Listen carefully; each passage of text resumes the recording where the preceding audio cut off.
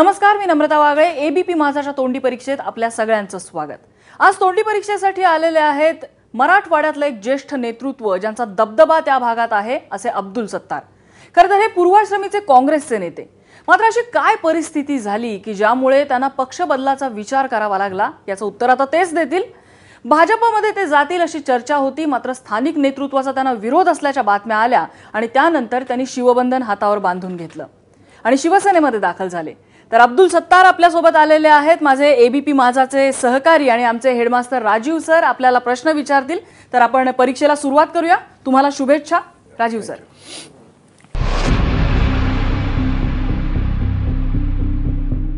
सत्तारजी अ, कसं वाटतं आता शिवसेनेत आल्यानंतर? सर्व भगवमय वाटतंय. नाही जेव्हा तुम्ही काँग्रेसमध्ये होता आणि सुरुवातीपासून तुमची काँग्रेसमध्ये करिअर झालेली आहे ज्या विचारांशी तुम्ही लढा देत होतात तर आता त्यांच्याच मध्ये शिरून त्यांच्या प्रकारचं राजकारण करताना अडचण नाही आहे होत? नाही कसं आहे राजकारणामध्ये कधी परिस्थिती कोणत्या मार्गाने जाते कोणत्या मार्गाने नेते याची राजकारणामध्ये कधी गॅरंटी नसते. आणि राहिला प्रश्न शिवसेनेची आजची परिस्थिती शिवसेनेची मागची परिस्थिती या दोघांमध्ये मला थोडाफार फरक निश्चित दिसला. आणि विशेषतः नवीन घरामध्ये गेल्यानंतर नवीन घर त्या नवीन घराची सर्व रचना सर्व बेडरूमपासून तर बाथरूमपासून तर सर्व पाहणं हे आवश्यक असतं. त्यामध्ये थोड्याफार अडचणी येतात. परंतु शेवटी कार्यकर्ता म्हणून आपण अनेक वर्ष राजकारणामध्ये लोकांच्या सोबत राहिलो. सर्वसामान्य जनतेची सेवा करताना अनेक पक्षाचा मित्रपणा सभागृहामध्ये वीस वर्ष राहिलो लॉबीमध्ये त्यांच्याशी बोलणं चालणं असं पक्ष वेगवेगळे असतील. परंतु कधी कधी विचार समजा आम्ही शिवसेनेच्या जे आमदार होते आमच्या सभागृहामध्ये ज्यावेळेस त्यांनी शेतकऱ्याची कर्जमाफीचा प्रश्न मांडला त्यावेळेस आमचा प्रश्न तोच होता की शेतकऱ्यांचा सातबारा कोरा व्हायला पाहिजे. त्यांनी सांगितलं आम्ही त्यांना त्या ठिकाणी मदत केली सभागृहात असतानाही. परंतु शेवटी कसं एकदा एकदम पक्ष बदलला तर थोड्याफार अडचणी येतात. परंतु जी अडचण मला पहिले येत होती त्या अडचणीपेक्षा ही अडचण थोडी कमी वाटते. नाही असं होतं की जेव्हा तुम्ही काँग्रेसमध्ये होतात त्यावेळेला असं होतं की तुम्हाला अडवणारं कोणी नव्हतं. बरोबर आहे. त्यामुळं लाडाकोडात वाढलेली मुलगी सून म्हणून दुसऱ्या घरात जाती तर त्यावेळेला जरा तिला तिथं जमवून घेणं थोडं अवघड होतं.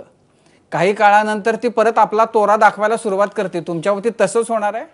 नाही कसं आहे त्याच्यामध्ये? मी सुरुवातीलाच बोललो तुम्ही की मी नवीन घरामध्ये प्रवेश घेतल्यानंतर त्याची सर्व बाजू ओळखलेली आहे. नंबर एक. राजकारणामध्ये मी काही एकदम अचानक राजकारणामध्ये आलेलो नाही म्हणून मला काही फार मोठा त्रास होणार नाही त्यांच्या भावना जाणूनच मी ज्यावेळेस उद्धव ठाकरे साहेबांची चर्चा केली. त्या चर्चेमध्ये सविस्तर मतदारसंघाची चर्चा मराठवाड्याची चर्चा महाराष्ट्रावर लेवलवर चर्चा पक्षाच्या जबाबदाऱ्या आणि मी काही पहिला मुसलमान तिकडे गेलो नाही. माझ्या अगोदर साबीर शेख पण होते.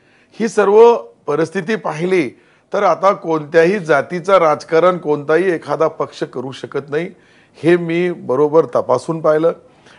आज काही शिवसेनेत प्रवेश केला आणि निर्णय लोकसभेच्या झाल्यानंतर केला असता तर लोकांमध्ये त्याचा परिणाम सत्तेसाठी चाललो.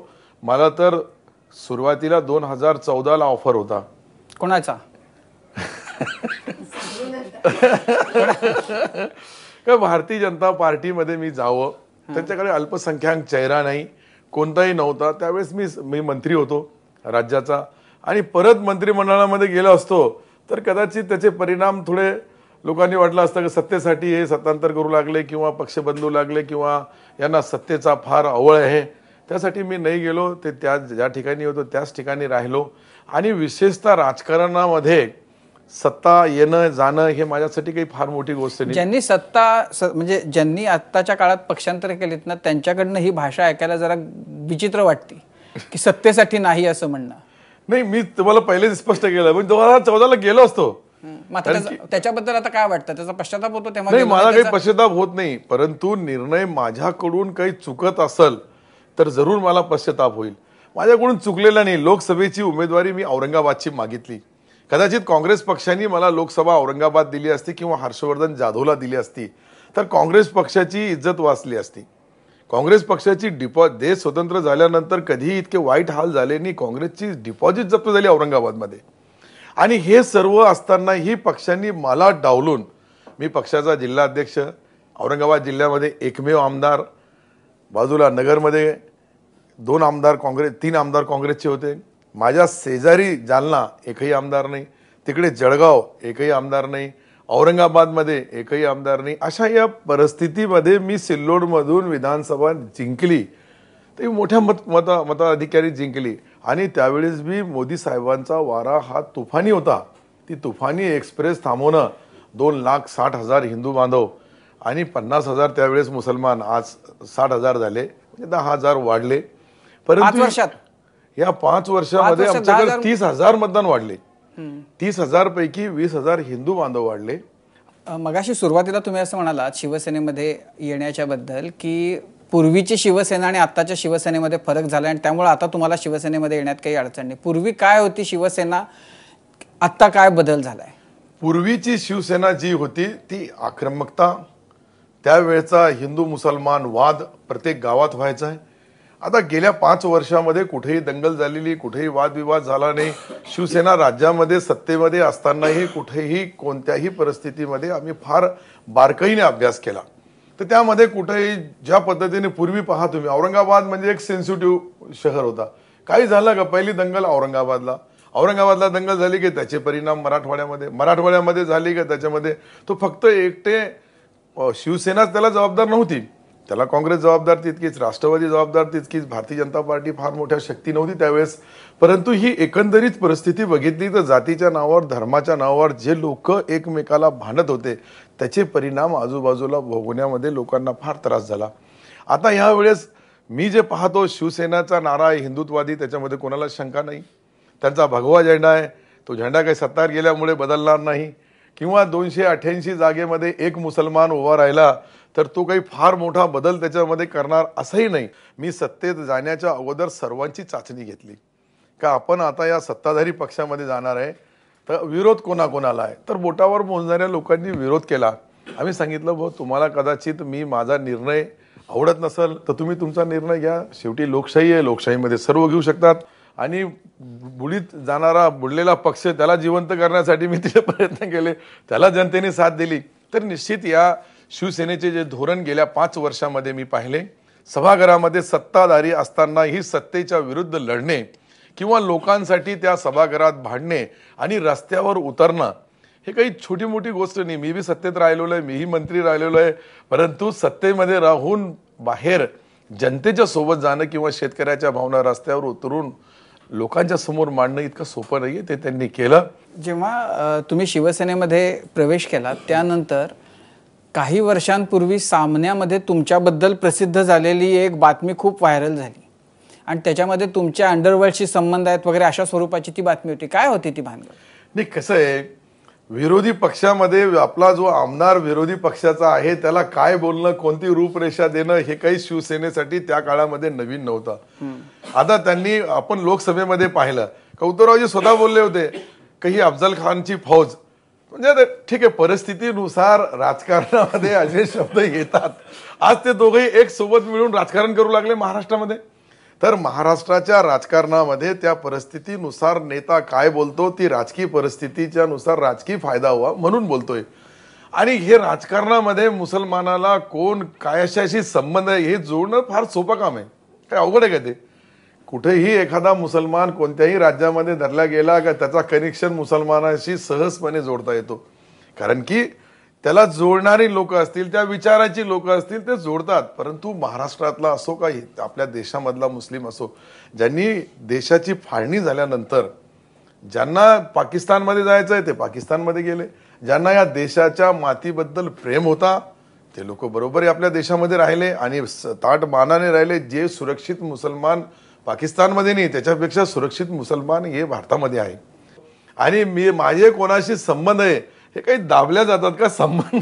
आता एक जमान्यामध्ये तुम्हाला लक्ष आहे का नाही मला माहीत नाही परंतु आदरणीय शरदचंद्रजी पवार साहेबाचे दाऊद इब्राहिमशी संबंध आहे असंही बोलले होते. मला लक्ष आहे का नाही? मला माहीत नाही पण मला चांगलं लक्ष आहे. त्यावेळेस असं फार मोठ्या बातम्या दौडल्या बातम्या फिरल्या. म्हणजे काही पाकिस्तानचे मध्ये दाऊद इब्राहिम आणि त्यांचे संबंध शरद पवारशी आहे. हे काही त्यावेळी ते पण त्या काळामध्ये अशा बोलण्या झाल्या. तर भाषणामध्ये बोलणे किंवा छापणे वर्तमानपत्रामध्ये काहीतरी प्रसिद्धीसाठी एक नवीन पिल्लू सोडणे हे काही नवीन नाही आपल्या राज्यामध्ये नाही देशामध्ये नाही. परिस्थितीनुसार ते काही बोलले असेल. मला काही त्याचा वाईट वाटत नाही. तुम्हाला औरंगाबादमधून तिकीट हवं होतं ते तुम्हाला मिळालं नाही. तुमचे खरं तर खूप जवळचे मित्र सहकारी असलेले अशोकराव प्रदेशाध्यक्ष होते. तुम्हाला तिकीट नाही मिळालं. तर तुम्ही पक्षाचं काम करणं अपेक्षित होतं ना? तिकीट नाही मिळालं तरी. बरोबर आहे. परंतु तुम्हाला आनंद झांबडांचं डिपॉझिट गेल्याचा जास्त आनंद आहे. ते ते यासाठी आनंद आहे की मी एबीपी माझावर बोललो होतो की त्यांची डिपॉझिट जप्त होणार. तुम्ही पाहून घ्या. तुमच्या कृष्णा केडे आहेत आमच्याकडे. तुमचे तुम्ही त्या शब्दाला जागायचं म्हणून त्यांचं घालवून टाकलं. येस प्रश्नच नाही ना. समजा मी माझ्या पक्षासाठी चार वर्ष साडेचार वर्ष एकटा आमदार लढतोय महाराष्ट्रामध्ये औरंगाबाद सारख्या मराठवाड्यासारख्या जागेवर. त्यावेळेस अनेक संकट आली. मी यलगार यात्रा काढली. त्या यलगार यात्रेच्या माध्यमातून बत्तीस दिवस घराच्या बाहेर राहिलो. खेड्यापाड्या वाडी वस्ती त्या शाळेमध्ये त्या पटांगणामध्ये झोपलो. आम्हाला त्या ठिकाणी अनेक अडचणी आल्या असल परंतु त्या सर्व अडचणीवर मात करून बत्तीस दिवस आम्ही यलगार यात्रा चालवली का पक्ष मजबूत व्हावं. आणि ज्या पक्षाला आपण मजबूत केलं तोच पक्ष आपला खच्चीकरण करत असेल तर माझ्यासारख्या कार्यकर्त्यांनी निर्णय काय घ्यायला पाहिजे? पण अशोकरावांचं काय म्हणणं होतं त्यावेळेस अशोकरावचं म्हणणं होतं तुम्ही तुमच्या याच्यावर मी एबीपी माझ्यावर एक क्लिप पाहिली होती का माझाच दिल्लीमध्ये कोणी ऐकत नाही तर मी काय करू? आता हे शब्द माझ्या नेत्यांनी बोलल्यानंतर माझ्यावर काय परिणाम होईल त्याचे? समजा माझ्या ज्याच्या विश्वासावर मी राजकारण करू लागलो ते स्वतः त्यांच्या तोंडाने त्या क्लिपला हे बी सांगितलं हो मी बोललो. पण प्रश्न मिटला. आपल्या नेत्याला दिल्लीमध्ये कोणी मानत नाही. आपण ज्याला मानू लागलो तो आपला बिस्मिल्ला करू लागला. तर शेवटी तर शेवटी तर शेवटी पर्यायीने कुठेतरी निर्णय घ्यावाच लागेल.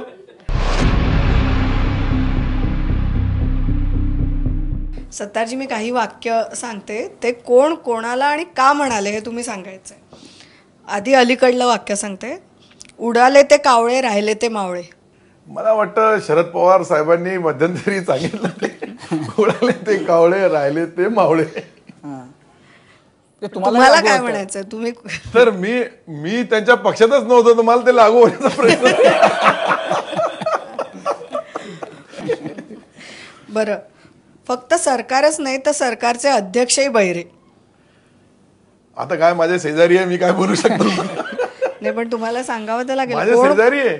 नाही, कोण कोणाला माझ्या- का म्हणाले होते हे सांगायचं. कोण म्हणालो तर तेही आम्हाला माहिती आहे पण ते का पण ते म्हणाले तुम्ही होते? सांगायचंय कोण म्हणालं होतं? माझ्या मतदारसंघामध्ये च्या बाजूला समजा आता परिस्थिती अशी आहे विधानसभेचे अध्यक्ष माझ्या बाजूला आहे.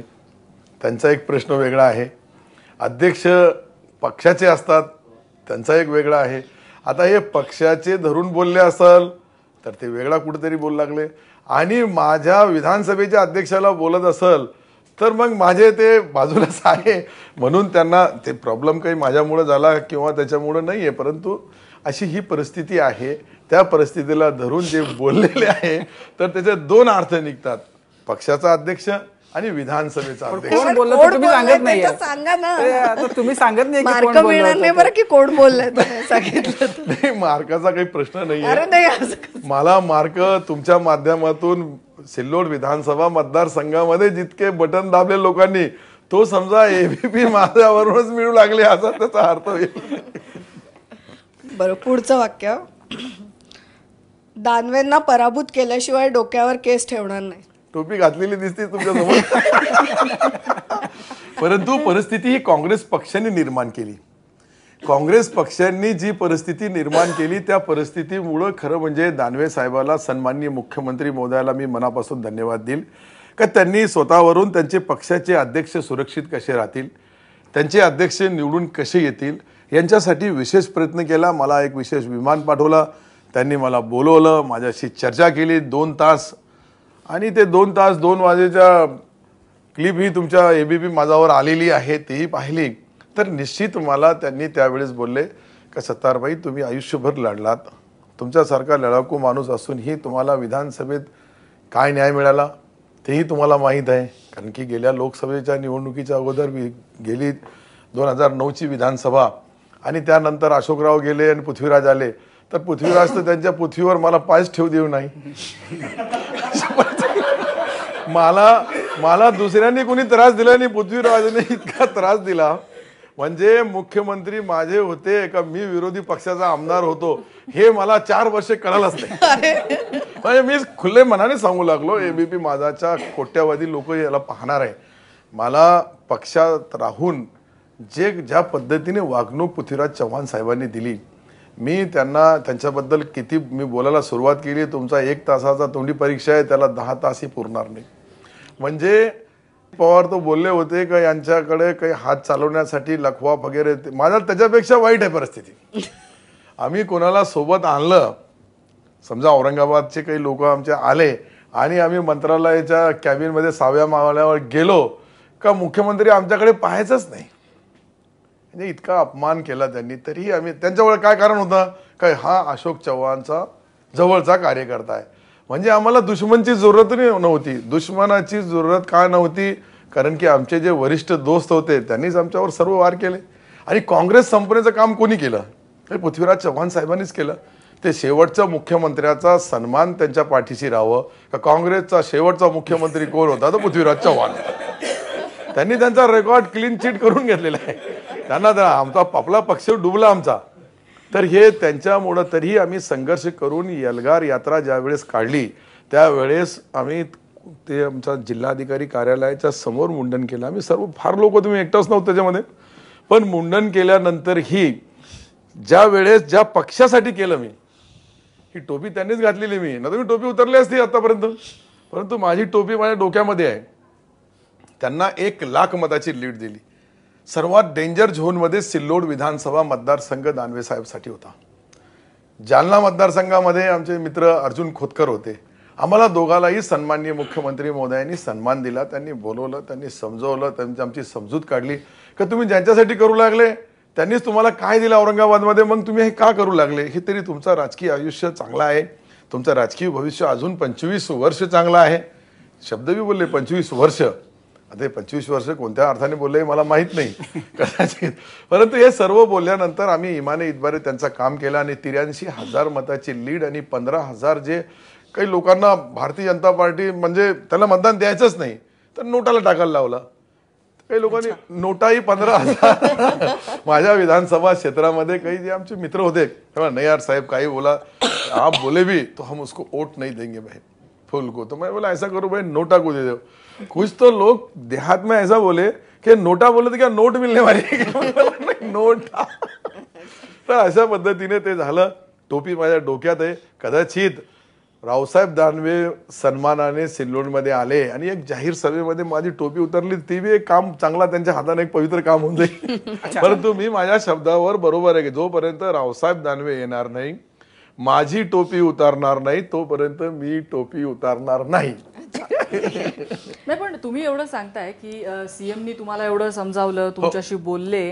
दोन हजार चौदाला तुम्हाला भाजपची ऑफर होती असं पण म्हणताय. या वेळेला ऑफर नाही दिली भाजपने तुम्हाला? ऑफर होती मी चांगला मी पहिले सुरुवातीला भाजपमध्येच जाणार होतो. मग काय झालं? पण भाजपमधल्या स्थानिक पुढाऱ्यांनी मला विरोध केला. तेही बिचारे अनेक वर्षापासून माझ्यासोबत लढतात. त्यांना वाटलं का हे आल्यानंतर आपला पत्ता कट होईल. त्यांनाही आमदारकीचे स्वप्न वाटतात. ते एक नाही एक डझनभर आहे. एखादा असता तर मी समजवण्याचा प्रयत्न केला असता. डझनभर लोकांना प्र- समजवणं इतकं सोपं आहे का आजच्या जमान्यामध्ये? एक समजवण्यासाठी इतका त्रास होतो. त्यांच्याशी तरीही मी दीड महिना दोन महिने मी हो, मी पाहिला आज नाही उद्या काहीतरी परिवर्तन रावसाहेब पाटील दानवेंनी मला सन्मानपूर्वक भारतीय जनता पार्टीमध्ये या हेही त्या त्यांची काही चूक नाही त्याच्यामध्ये. सन्माननीय मुख्यमंत्री महोदयाची काही चूक नाही. त्यांनी प्रत्येक वेळेस मला बोलले का सत्तार भाई तुम्ही इकडे या. मीच त्यांना उलटा बोललो होतो कदाचित माझा मतदार तुमच्यासोबतनी आला तर मला तुम्ही अपक्ष म्हणून पाठिंबा द्या. आणि पुरस्कृत करा. हे जे शब्द आहे मी जे सांगू लागलो ते सन्माननीय मुख्यमंत्री महोदयालाही माहीत आहे. मी काही खोटं सांगू लागलो किंवा त्यांच्या ही गोष्ट त्यांच्या कानावर जाणारच आहे ते बी ऐकणारच आहे. आज नाही उद्या तुमची ज्यावेळेस चॅनल सुरू होईल त्यावेळेस तर त्यावेळेस आमचा असाही करार झाला होता. मग नंतरच्या काळामध्ये भारतीय जनता पार्टीमध्ये यावं विकी पाटील साहेबाची माझी बोलणं चालू होतं. म्हणजे विकी पाटील माझे मित्र आहेत. त्यांची आणि माझी दोघांच्या वेळेस आमची चर्चा आमची लोकसभेच्या अगोदर झाली. हा लोकसभेच्या निवडणुकीनंतर अनेक लोक भारत भारत भाजपमध्ये जाण्यासाठी भारतभर चालू आहे. ते काही एकट्या आपल्या महाराष्ट्रात नाही आहे म्हणजे जे मेगा भरती वगैरे काय काय बोलतात ते मी टी व्हीवर कधी कधी पाहतो वर्तमानपत्रात वाचतोय. तर अशा पद्धतीने परंतु मी लोकसभेच्या अगोदर निर्णय घेतला. आणि त्यानंतर मी त्यांच्या खासदाराला मन भरून सर्व जिल्ह्यात सर्वात जास्त विधानसभा क्षेत्रामध्ये मतदान कुठं असेल तर सिल्लोड पण जागोजागी असंच झालं का की लोकांनी आपल्या पक्षाशी इमान न ठेवता समोरच्याला मुख्यमंत्र्यांनी सांगितलं म्हणून मदत केली त्यामुळे काँग्रेसची अवस्था झाली? नाही.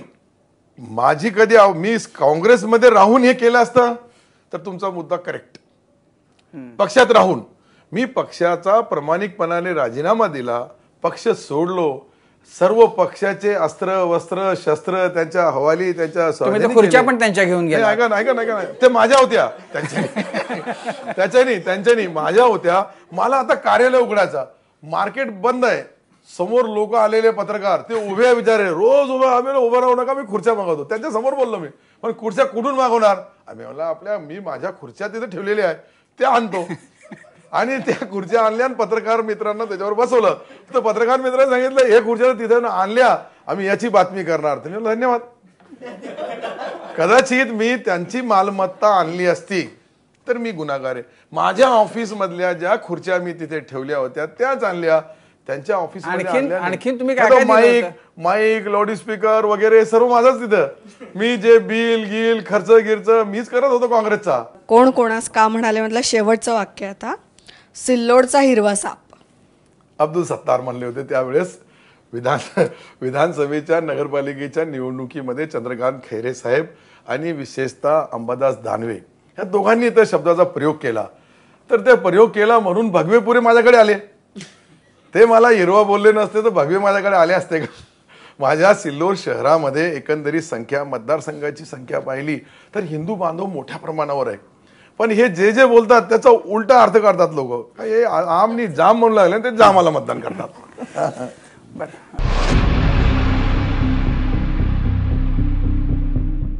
खालीलपैकी कुणाला मुख्यमंत्री म्हणून बघायला आवडेल? क्रमांक एक देवेंद्र फडणवीस. क्रमांक दोन आदित्य ठाकरे. क्रमांक तीन अशोकराव चव्हाण. नाही मला तर मी ज्या पक्षामध्ये आहे त्या पक्षाचा आदित्य ठाकरे हे मुख्यमंत्री हवा व्हावे ही माझी मनापासून इच्छा राहील. पण याचा अर्थ हे नाही का देवेंद्रजीने एक चूक केलेली आहे का? देवेंद्रजी काही कामाचेच नाही आहे तेही कामाचे आहे. तेही चांगले मुख्यमंत्री आहे. पण मी ज्या पक्षात आहे माझ्या पक्षाचा मुख्यमंत्री झाला तर याच्यापेक्षा माझे आनंदाचा क्षण कोणताही येणार नाही. काँग्रेस काँग्रेससारखं होणार नाही. मागच्या वेळेला जसं झालं तसं. नाही आता कशी परिस्थिती आहे त्या निकालाच्या नंतर जी परिस्थिती उद्भवल त्याच्यावर परिस्थिती निर्माण होते. नाहीतर तुम्ही पाहिलं का कर्नाटक मधली जी परिस्थिती पाहिली का त्या ठिकाणी तर कधी कोणी विचार केला होता देवगोडा साहेबाचे चिरंजीव मुख्यमंत्री होतील हे कोणी विचार केला होता का पण झाला परिस्थितीनुसार. तर असं काही होऊ शकतो मी जे बोललो माझी म- इच्छा पुरी करायचं ईश्वर अल्ला भगवान त्या वेळेस परिस्थिती निर्माण करू शकतो. पुढचा प्रश्न शिवसेनेत प्रवेश करण्याचं कारण काय? एक सिल्लोड मतदारसंघ सेनेकडे असल्यामुळे दोन मुख्यमंत्री देवेंद्र फडणवीस यांच्या सांगण्यावरून आणि क्रमांक तीन शिवसेनेच्या विचारांनी प्रभावित होऊन. नाही सिल्लोड विधानसभा मतदारसंघ हे शिवसेनेकडे कधी नव्हता. तीस वर्ष भारतीय जनता पार्टीकडे होता नंबर एक.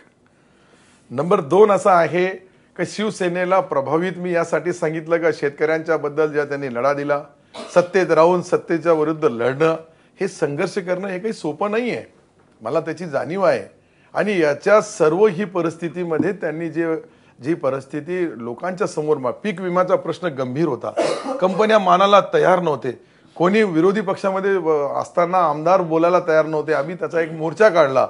आम्हालाही फार मोठा प्रतिसाद काही वरून मुंबई दिल्लीवरून मिळाला नाही.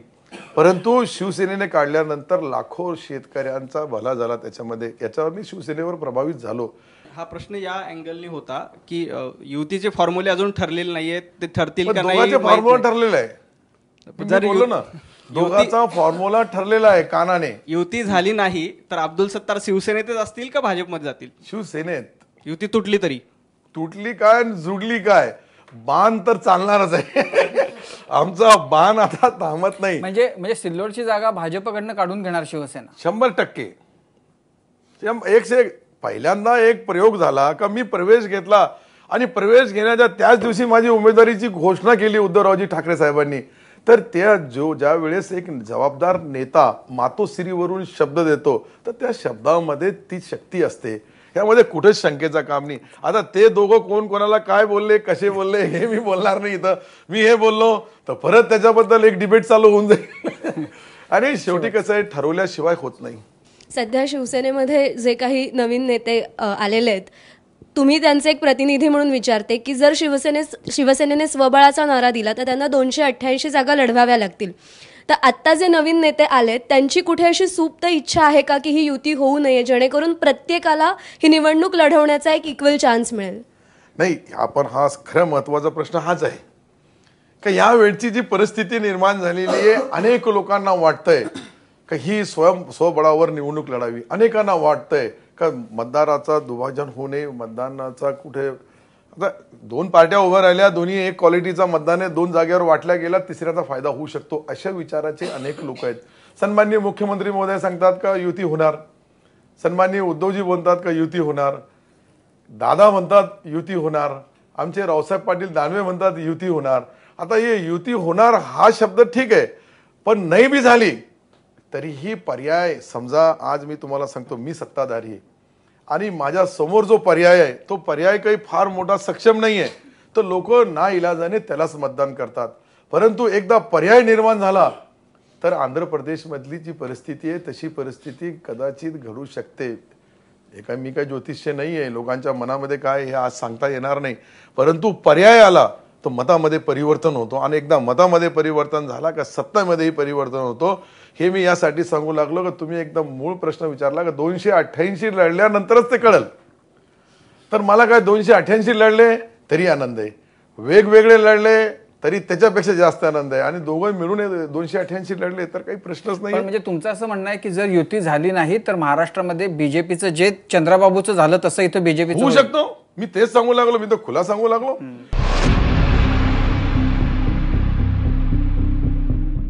तुम्ही आता काँग्रेसकडून नाराज असल्याची कबुली पण दिली. आता एका वाक्यात उत्तरांमध्ये एक नवीन प्रश्न त्याच्यामध्ये त्याच्यामध्ये जोडतो की अब्दुल सत्तार सुद्धा राम मंदिराची वीट रचायला जाणार का? एका वाक्यात उत्तर द्या.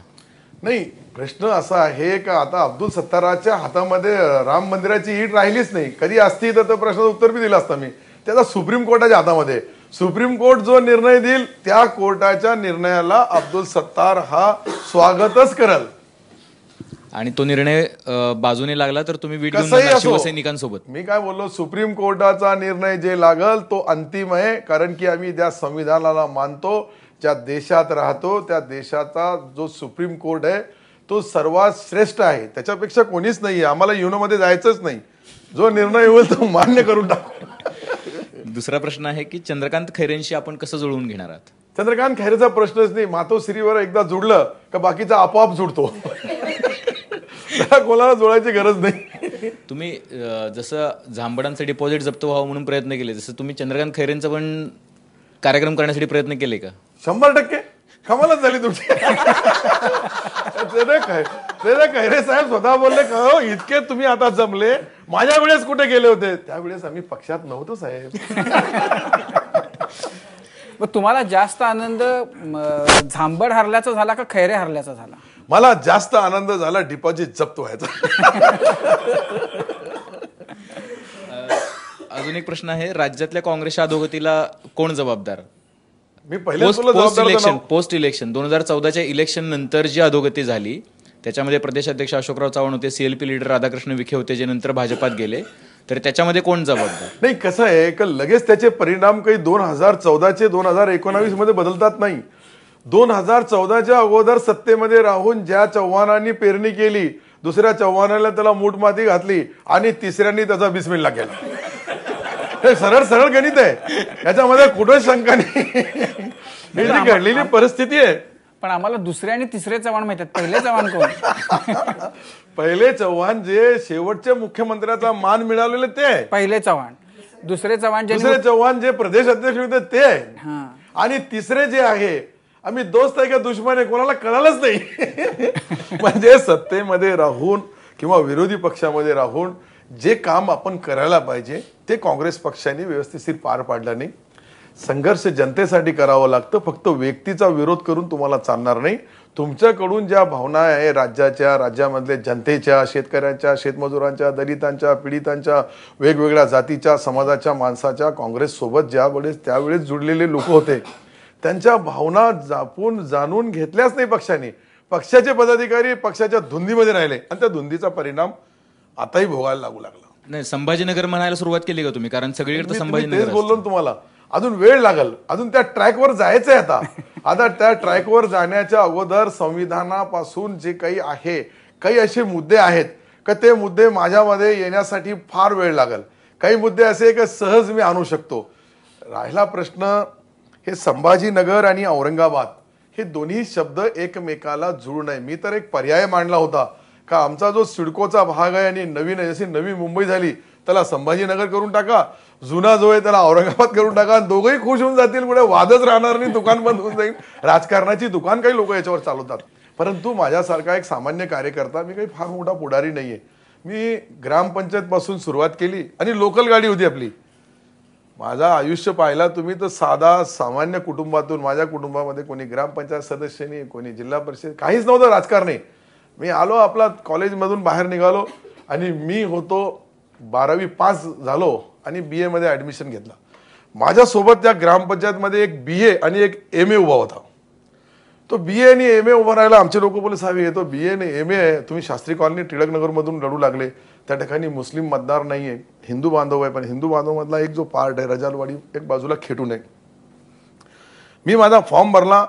फॉर्म भरल्यानंतर आमचा जो जाहीरनामा निघाला त्याच्यावर माझा फोटो आणि त्या फोटोवर मी लिहिलं बी ए एफ वाय तर आमच्या गावाचे लोक बोलले सत्तार यांच्यापेक्षा जास्त शिकलेला आहे. हे फक्त बी ए हे एम ए सत्तार तो बी एफ वाय मला अनेक लोक बोलले सत्तार तू एफ आय कुठे केला? नंतर बोलतो आता काय? निवडणूक रिझल्ट तो येऊ दे. मग रिझल्ट लागला आणि माझी सत्काराची सभा होती एकोणीसशे त्र्याऐंशी चौऱ्याऐंशीची गोष्ट आहे ती. मग त्यावेळेस मी मग लोकांनी मला आता तरी खरं सांगा आम्हाला काय बी एफ वाय काय? अरे मी म्हणलं गड्या मी बी ए फर्स्ट इयरला आहे. आणि बी ए फर्स्ट इयरचा एफ वाय करून टाकला मी माझ्या शिक्षकाला चापे सर आमचे प्रिन्सिपल होते. त्यांना विचारलं साहेब याला शार्टमध्ये काय लिहावं लागेल? ते म्हणे एफ आय एफ आयमध्ये म्हणे एफ आय मला F I F I F I जरा सुरू एफ आय लोक म्हणायला लागले की सत्तार पहा एम ए ते फक्त. Sattar B A F I दुसरा माझा विरोधी होता तो फक्त बी ए होता. हे एफ आय लोकांना आणि आपली दुकान चालू झाली. मी ग्रामाचे खरं म्हणतो आजचा जमाना हा पक्षनिष्ठा लवकर पातळ होण्याचा आहे. तुमच्यासाठी हिंदीत आहे पण मराठीतच पंधरा सेकंद बोलायचे. शिवबंधन टूटे ना सारी जिंदगी. क्या बात है. शिवबंधन आज इसके बाद नहीं टूटेगा इसकी गॅरंटी आहे का पण हातात हातात आहे का? नाही हातात यासाठी नाही आहे. अरे परवाच तर बांधलं ऐका होतं ना ऐका ना ऐका ना ऐका ना ऐका ना, ऐका ना. माझा याच्यापुढे ऐका ना. आमच्या समाजामध्ये धागा बांधण्याची पद्धत नाहीये. उद्या मुसलमान समाजाने सांगितलं मला तू धर्मांतर करून घेतला. तर त्याचाही परिणाम होणे धार्मिक भावना जपून पक्षाची सेवा करावी हे खरं पक्षप्रेम आहे. दुसरं जावई दानवेंचा भला. जवळ हा प्रश्न सर्वात महत्त्वाचा आहे. जवई दानवेंचा भला परंतु सिल्लोडमध्ये जवायाने सांगितलं का मी जवई आहे मी घर जवई नाही. हे दानवेच्या जवायांनी सांगितलं ते भला आहे यासाठीच त्याला मी लोकसभेमध्ये पाठिंबा दिला. लोकसभेमध्ये त्यांना पाठिंबा देण्याची पाठ पाठीमागची पार्श्वभूमी तो भला आहे तो आक्रमक आहे. आणि आक्रमकता ही कधी कधी राजकारणामध्ये भलाई करते नुकसानही करते. परंतु त्यांचं नुकसान कमी झालं. कदाचित समजा नरेंद्र महाराज नरेंद्र महाराजाची इच्छा होती. का राणी आपले सॉरी खैरे साहेबांनी जाधवांना भेटावं आणि हा प्रश्न मिटून टाकावं? ते महाराज आहे. महाराज म्हणजे महाराज म्हणजे याचा अर्थ मी नाही का मी महाराजाला भेटतो अनेक महाराजांना भेटतो. त्यांची इच्छा होती परंतु खैरे साहेबांनी ते ऐकलं नाही. मला काहीच होणार नाही म्हणे. आणि काहीच होणार नाही म्हणून हे झालं म्हणून जवई. झाले? मग आता ह्या आधीच मार्क देऊया. पहिलं एका वाक्यात उत्तर. नऊ. योग्य पर्याय निवडा. आठ मार्क्स कल्पना विस्तार. नऊ. कोण कोणास म्हणाले? आठ आठ. आठ. तर आता मी काही नावं महाराष्ट्रातल्या नेत्यांची सांगतो. त्याच्याबद्दल तुम्ही एका दोन शब्दांमध्ये त्यांच्याविषयीची तुमची भावना काय आहे तुम्ही त्यांचं विश्लेषण कसं कराल किंवा काय विशेषण त्यांना लावाल ते तुम्ही सांगा. पहिलं आहे रावसाहेब दानवे. रावसाहेब दानवे म्हणजे राजकारणामधला सांगू का त्यांच्या सुगलबाजीवाला सांगू? नाही दोन्ही. तुमचं काय? रावसाहेब दानवे रावसाहेब दानवे म्हटलं की तुम्हाला काय? रावसाहेब दानवे म्हणजे ते सायकलीचा पाना. कुठेही लावा. बारा वृक्षाचा पान. अर्जुन खोतकर. अर्जुन खोतकर एक आक्रमक राजकारणी आहे. आणि शब्द पाळणारा माणूस आहे. माझा ज्या ज्या वेळेस त्यांनी शब्द दिला ते शब्द पाळला. विश्वासू मित्र म्हणून तो राजकारणामध्ये माझा जवळचा मित्र आहे. चंद्रकांत खैरे. चंद्रकांत करे दोस्त कम दुश्मन ज्यादा. नाही परिस्थिती आता पुढे काय होईल ते आज सांगता येईल अशोकराव चव्हाण. अशोकराव चव्हाणच्या बद्दल तर मला फार बोलावं लागेल परंतु नाही एका शब्दात असं आहे का राजकारणामध्ये फक्त आयुष्यभर ज्याला आम्ही नेता बोललो तो मला कार्यकर्ता मानायला तयार नव्हता. पृथ्वीराज चव्हाण. दोस्त मधला दुश्मन. म्हणजे पक्षाचा स- मोठा शत्रू कोणी असेल तर पृथ्वीराज चव्हाण. काँग्रेस पक्षाचा त्यावेळेस मी काँग्रेसचा होतो. अजित पवार. अजित पवार. आता अजित पवार असा एक शब्द काय बोलतात कुठं बोलतात कुठं काय बोलायला पाहिजे याची बी जाणीव नाही परंतु एक कणखर शब्दामध्ये बोलणारा एक कडक प्रशासनामध्ये वागणारा एक नेता म्हणून त्यांची ओळख जरूर आहे. देवेंद्र फडणवीस. देवेंद्र फडणवीस एकदम शांत. तुम्ही पाहिले असेल मराठा समाजाचे अनेक मोर्चे दहा दहा लागा पण गडी शांत. शांत मनाने नियोजनबद्ध काम करणारा चतुर बुद्धीचा राजकारण करणारा आणि चाणक्य नीतीचा पुरा प्रयोग करणारा उपयोग करणारा राजकारणी आजच्या या जमान्यामध्ये कोणी आहे तर देवेंद्रजी फडणवीस साहेब. अरे मला असं वाटलं ही सगळी वैशिष्ट्य तुम्ही पुढच्याला सांगाल. उद्धव ठाकरे. नाही स- उद्धव ठाकरे मुख्यमंत्री झालेच नाही बिचारे. ते मुख्यमंत्री झाले असते तर कदाचित दोघांच्या मना दोघांचा मधला फरक काढला असता. ज्यावेळेस ते होतील तर पुढच्या वेळेस त्यावेळेस मी जरूर बोलत पण. आता तुमच्या मते उद्धव ठाकरे. आता माझ्यामध्ये पर्याय उ- म्हणून मी पहिलेच सांगितलं का पुढचा भविष्याचा पर्याय जो आहे ते उद्धव ठाकरे साहेबच आहे महाराष्ट्रासाठी आणि निश्चित तो पर्याय आंध्र प्रदेश सारखा भविष्यामध्ये तुम्हाला दिसेल पाहायला. राहुल गांधी. राहुल गांधी इस दिल के टुकड़े हजार हुए कोई यहाँ गिरा कोई वहां गिरा उसके टुकड़े इतने हो गए. उसके म्हणजे त्यांची भावनाच अशी झालेली. की काँग्रेस पक्षामध्ये त्यांच्या विचाराची लोक खरं म्हणजे मी एकदा एबीपी माझ्यावर बोललो होतो. का राहुल गांधीने या सर्व महाराष्ट्राचे पुढारी जे काही आहे गेस्ट हाऊस विमानतळ रेल्वे स्टेशनवर गुल गुलदस्ते देणारे हे पहिले बंद करून टाका तिकीट देताना. ते फोटोग्राफी पाहायची. का सर्वात जास्त गुलदस्ते कोणी दिले? सर्वात जास्त गेस्ट हाऊसवर चापलुसी कोणी केली? त्याला तिकीट नाही द्यायचं. हे जोपर्यंत राहुलजी करणार नाही किंवा हे जोपर्यंत पाहणार नाही काँग्रेसचे अच्छे दिवस येणार नाही. अच्छा. आता शेवटचा नरेंद्र मोदी. नरेंद्र मोदी या देशामध्ये आज ज्या पद्धतीने निर्णय घेऊ लागले जगामध्ये जे फिरू लागले जगामधली एकंदरीत परिस्थिती बघितली तर निश्चित ह्या देशाला एक सक्षम पंतप्रधान मिळाला आणि सक्षम पंतप्रधान म्हणून कुठेतरी एक हाती सत्ता चालवण्यामध्ये निर्णय पुरेच निर्णय काही खरे होत नाही. पुरेच निर्णय काही सत्य किंवा पुढच्या भविष्यामध्ये ते तंतोतंत खरे असतात असे नाही.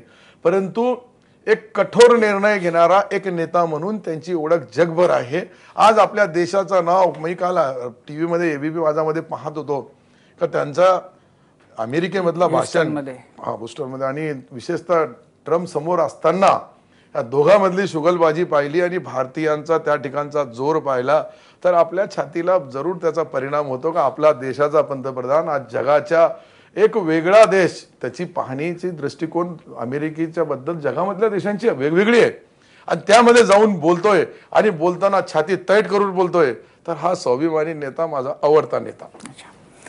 ठीक आहे. आता दहा पैकी सविस्तर उत्तर? नऊ. नऊ. सगळ्यांचं मत आहे नऊ. अरे सत्तरजी तुम्ही सगळे रेकॉर्ड बहुतेक तोडले आमचे.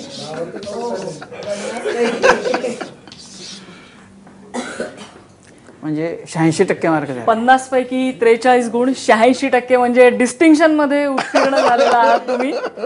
अभिनंदन तुमचं. थँक्यू धन्यवाद. आपली लोकल गाडी ना हात दाखवा.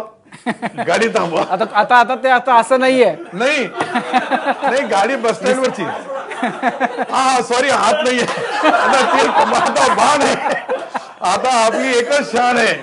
तीर कमान आणि बाण धनुष्यबाण पन्नास पैकी त्रेचाळीस गुण मिळालेले आहेत आपल्याला म्हणजे शहाऐंशी टक्के गुण डिस्टिंक्शनमध्ये उत्तीर्ण झालेला आहात. आणि या वर्षात एक मोठी परीक्षा येऊ घातलेली आहे त्या परीक्षेसाठी शुभेच्छा. आणि तोंडी परीक्षेमध्ये वेळ झालेली आहे आज इथेच थांबण्याची. ताज्या बातम्यांसाठी पाहत रहा एबीपी माझा.